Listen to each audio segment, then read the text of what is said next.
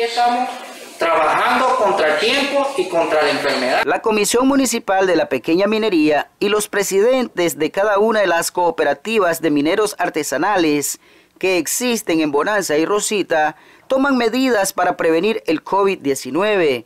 Para eso, cada cooperativa pondrá a una sola persona para verificar la entrega de la brosa de cada uno de los socios.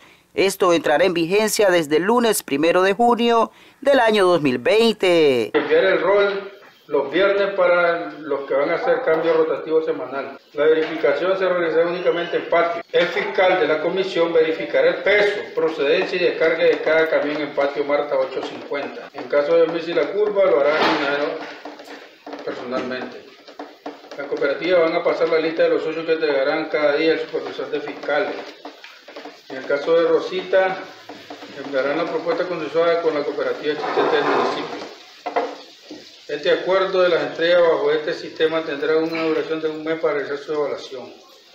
Todas las personas que sean nombradas deberán cumplir con los protocolos de seguridad para prevenir que se utilicen mascarilla facial, guantes, lentes, es posible usar camisa manga larga, además de lavarse las manos constantemente cada 20 minutos o desinfectarse con alcohol gel 80% puro. Desde Bonanza, la reina de las montañas, para Crónica TN8, les informa Martín Cruz.